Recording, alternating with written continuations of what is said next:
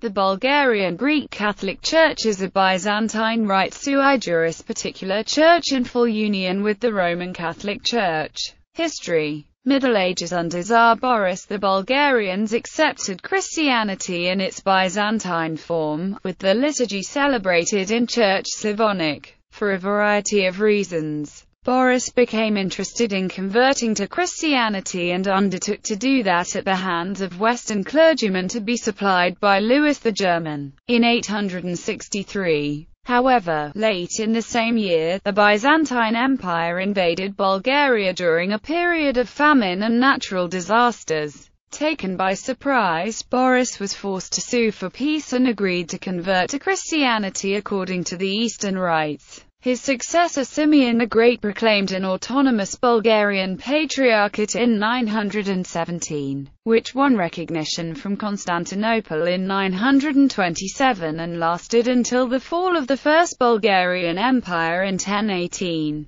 In 1186 the Bulgarian state regained its independence. Pope Innocent III had written to Tsar Kaloyan, inviting him to unite his church with the Roman Catholic Church, as early as 1199. Wanting to bear the title of emperor and to restore the prestige, wealth and size of the First Bulgarian Empire, Kaloyan responded in 1202. In this political maneuver, he requested that Pope Innocent III bestow on him the imperial crown. Kaloyan also wanted the papacy to recognize the head of the Bulgarian Church as a patriarch. The Pope was not willing to make concessions on that scale, and when his envoy, Cardinal Leo, arrived in Bulgaria, he anointed the Archbishop Vasilij of Tarnovo as primate of Bulgarians. Kaloyan only received uniate crown, bur not imperial. Meanwhile, in an attempt to foster an alliance with Kaloyan, the Byzantine Emperor Alexios III Angelos recognized his imperial title and promised him patriarchal recognition. In 1235, the Patriarch of Constantinople recognized the independence of the Bulgarian Church and the right of its leader to the patriarchal title. The Ottoman conquest of 1393 put an end to that patriarchate, whose territory was reunited with that of Constantinople. In the succeeding centuries the Bulgarian Church was gradually Hellenized. Greek was used in the liturgy, and the bishops were ethnic Greeks. Uniate movements The rise of nationalism in the 19th century brought opposition to this situation. In the 19th century, there were three main Uniate movements in the then Bulgarians' populated lands. They were connected to the nationalist emancipation from the Greek-dominated Patriarchate in Constantinople and its pro-Greek influence over the Slavic population living in the Thracian and Macedonian lands. The movement for union with Rome initially won some 60,000 adherents, but, as a result of the Sultan's establishment in 1870 of the Bulgarian Exarchate, at least three-quarters of these returned to orthodoxy by the end of the 19th century. The clergy's numerous shifts from the Orthodox to the Catholic Church and vice versa should not be viewed only as personal whims. They are symptomatic of the foreign powers game that the clergy got involved after the June 1878 Berlin Treaty, which left Macedonia and Thrace within the Ottoman Empire. Thus, in the interplay between the Orthodox and the Uniate doctrine, Bulgaria supported the Orthodox Exarchate, and Russia supported Bulgaria. The Greek-dominated Patriarchate of Constantinople supported the Greek side. France and the Habsburg Empire supported the Uniates. The support of the Habsburg Empire increased only after 1878. The Ottoman Empire's attitude was ambivalent, sometimes supporting, sometimes opposing the Uniate movement, depending on how it had to balance its own interests in the game with the great powers. First Uniate movement This is the background of the approaches that some influential Bulgarians made to Rome in 1859 to 1861, in the hope that union with Rome would gain their church the freedom they felt Constantinople was denying them. The leading figure of the Uniate movement was the Bulgarian merchant Dragan Tsankov, who had the support of Catholic France. He published the newspaper, Bulgaria, in Constantinople, in which he advocated a union with the Pope. It criticized Russia for its negative stance on the Bulgarian church question, and published historical documents on the good connections between the Catholic Church and the Bulgarian kings in medieval time. The first Uniate movement originated in two centers. Kukush and Constantinople. In 1859, Kukush citizens wrote a letter to the Pope, in which they acknowledged his administrative and spiritual leadership. In return, they demanded that no changes should be introduced to their Eastern rites of worship and that they would be the ones to choose their bishops and lower clergy, with the approval of the Pope. The letter stated that the teachers at the church schools are to be chosen by the domestic clergy and the education is to be pursued in the Bulgarian language and its national alphabet. In December 1860, Constantinople became another center of the first Uniate movement. Dragan Tsankov, along with a delegation of Bulgarian spiritual and secular intelligentsia, handed a letter to the papal apostolic vicar, asking the Pope for a church union. This act was sanctioned by the Vatican and the Ottoman government in the same year, thus paving the way for the establishment of a Bulgarian Uniate church. Pope Pius IX accepted their request and himself ordained Archimandrite Joseph Sokolsky as Archbishop for them on 8 April 1861. Though Archbishop Sokolsky, who had won recognition from the Ottoman authorities, as secular head of the Bulgarian Uniate community was almost immediately removed on a Russian ship and held in Kiev for the remainder of his life. By June 1861 there was no one in Constantinople who could perform the Bulgarian Uniate services, a situation not remedied until 1863 when Raphael Popov was elected as bishop centered in Adrianople. At the same year a Bulgarian Uniate gymnasium in Adrianople was founded. The first Uniate movement spread into several towns and villages in Macedonia and Thrace, but they did not yield any concrete results. The reasons for the failure of the first Uniate movement could be found in the political character of the movements, rather than in the population's deep religious devotion. The people demanded its domestic clergy. They received it first through the Patriarchate, and then through the Bulgarian Exarchate, which was finally established in 1870. Second Uniate movement The Second Uniate movement started again in Kukush. In 1874, Nil Izvorov, the Bulgarian Orthodox Bishop of Kukush, wrote a letter to the Bulgarian Uniate Bishop in Constantinople, Raphael Popov saying that the will of the people in Macedonia was to join the Bulgarian Uniate Church. After that he sent a letter to the Pope as well, asking him for a union.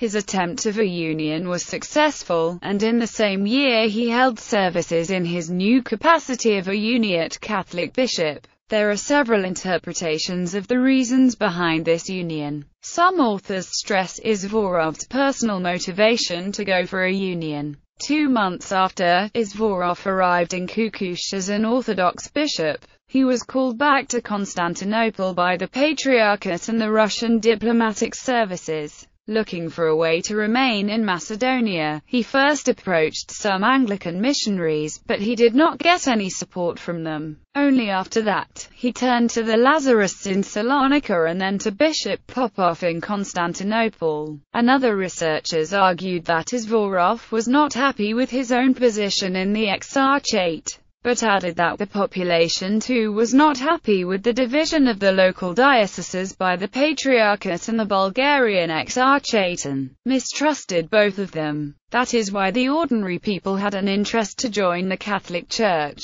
Historical sources show that the Ottoman government banned Izvorov from entering Kukush for several years. Bishop Popov took over his duties in Kukush, but in 1876 he died under unknown circumstances. In the same year Izvorov was promoted to be the administering bishop of all Uniate Bulgarians, directly subordinated to the apostolic delegate in Constantinople. After that he resumed his duties in Macedonia. That year, he became active once again in central Macedonia, based at Kilkis. In one five-year period, there were 57 Catholic villages, whilst the Bulgarian Uniate schools in the Vilayet of Thessaloniki reached 64, including the Bulgarian Uniate Gymnasium at Thessaloniki. Several years later in 1883, he was promoted to Archbishop of all Uniate Bulgarians and went to Constantinople. As of 1883, there were already two apostolic vicars. Bishop Mikhail Petkov in Adrianople was responsible to Thrace and Bishop Lazar Mladenov in Salonika to Macedonia, both subordinated to the Archbishop Nil Izvorov in Constantinople. Earlier on the followers of Catholicism of the Eastern Rites had a joint hierarchy. In 1884 Izvorov went back to the Bulgarian Orthodox Church. The personality of Bishop Mladenov was not less controversial than that of Bishop Izvorov. After the High Court cancelled his accreditation as bishop on the demand of the French consul in Salonika in 1894, Mladenov turned also to the Bulgarian Exarchate. Then he returned to the Uniate Church. Nevertheless, this was the end of his career. He stayed in a monastery until the end of his life. Third Uniate movement by the end of the 19th century. The Bulgarian Catholic Church in Macedonia was based in Kukush with Epiphany Shanov as bishop after Mladenov's excommunication in 1895. The other vicariate was that of the Thrace. It was led by Mihail Mirov, who was proclaimed as also administering bishop of all Uniate Bulgarians, with Sayad in Constantinople as of 1907. In 1893, the internal Macedonian Adrianople Revolutionary Organization emerged as the main Bulgarian factor in the Macedonian and Thracian lands. In the late 1890s, IMARO was extremely anti-Catholic. On its part, the Catholic Church did not support IMARO, because it was against any revolutionary movements in the Ottoman Empire. This attitude changed for a short period of time after the 1903 Ilinden-Preobrazhenie uprising. The Ottoman terror following the failure of the uprising prompted the Bulgarian Exarchate and the Bulgarian Catholic Church alike to embark on the same mission, helping the people to cope with the tragedy. However, this rapprochement was short-lived. After 1903, the IMARO revolutionaries and the Exarchate continued to act against the Catholic Church.